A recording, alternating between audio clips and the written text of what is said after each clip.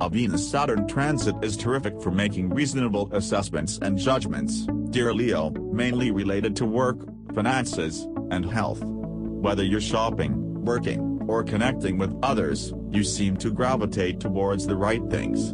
You're also more mindful of being moderate in whatever you're doing, which appears to be the key to success right now. There can be a bonding moment or a general understanding of someone special. Your judgment is sound.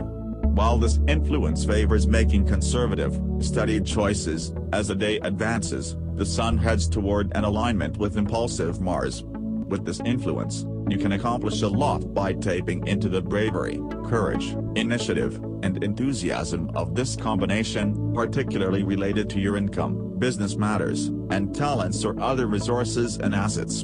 Be self-aware, and aim to downplay or sidestep the more egocentric, impatient, and rash side of this combo. Impulsive spending is a potential problem, for example.